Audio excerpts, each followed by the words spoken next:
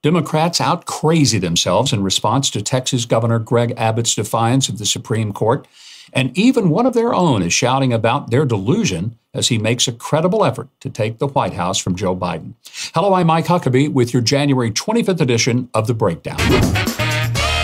A quick reminder to subscribe to the channel below. Be sure to click the notification bell if you haven't already, and also click the like button if you enjoy the video, and I'm sure you will. I recently warned in my newsletter at MikeHuckabee.com that by deciding against Texas 5 to 4 and with a lawless president who refuses to do his constitutional duty to secure the border, the Supreme Court might be foolishly laying the groundwork for a soft, best case scenario, civil war. The SCOTUS ruling that Biden had the power to order Texas to remove the razor wire barrier that the state National Guard put up to hold back the massive invasion of illegal aliens that Joe Biden's administration, quite frankly, caused. I also reported that Texas responded to the SCOTUS ruling by putting up more razor wire. Since then, the crisis has rapidly escalated. Texas Governor Greg Abbott said, The federal government has broken the compact between the United States and the states because it's refusing to do its constitutional duty to protect the states and enforce immigration laws.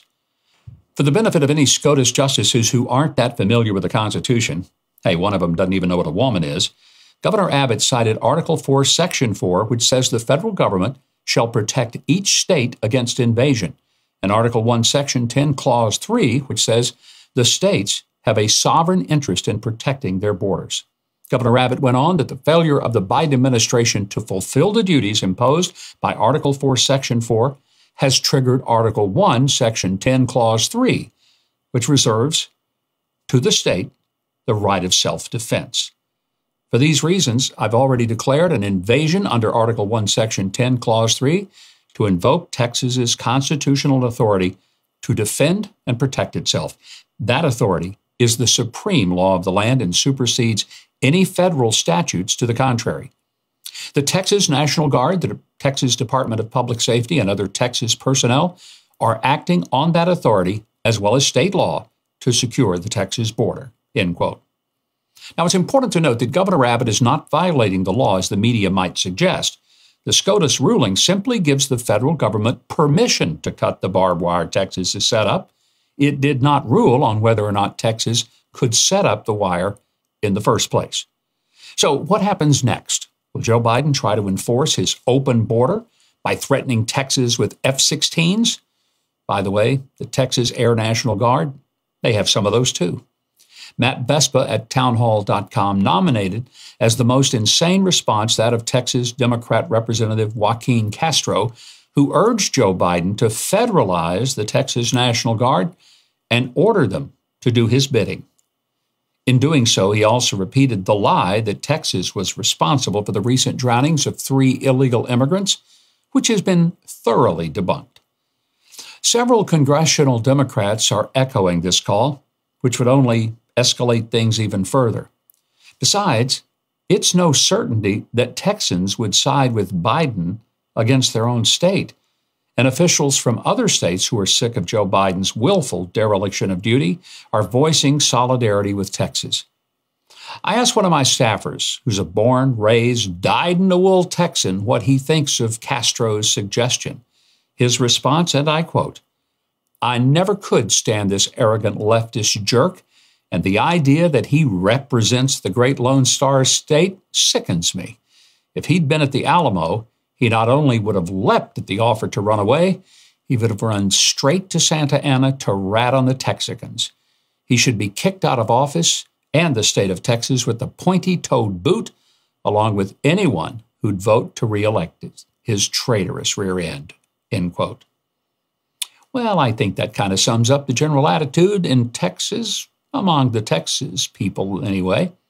As predicted, some are already creating history inspired flags with a razor wire fence and the taunt come and take it. And peaceful rallies supporting Texas's right to defend itself from invasion are already gearing up.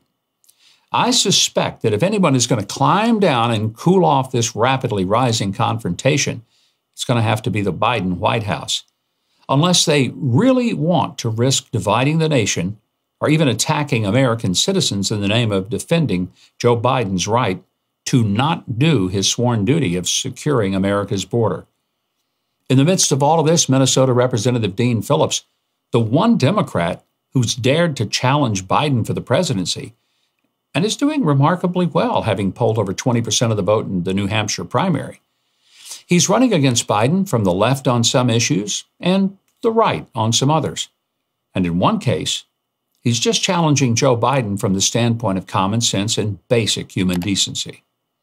Having zero positive accomplishments to run on, Biden has made his entire reelection campaign all about demonizing Donald Trump and his supporters, painting about 72 million Trump voters and taxpaying American citizens as being racist, extremist, terrorist, fascist, enemies of democracy. But Phillips, I'm sure, shocked Biden's sycophants on CNN because here's what he told him. He said, My party is completely delusional right now. Phillips did something that none of Trump's critics will do. He actually attended a Trump rally and met some MAGA voters. I saw the line of people waiting in the cold for hours. And I thought, what the heck? You know, I'm going to be a leader who actually invites people, doesn't condemn them. Met probably 50 Trump people waiting in line. Every single one of them thoughtful, hospitable, friendly.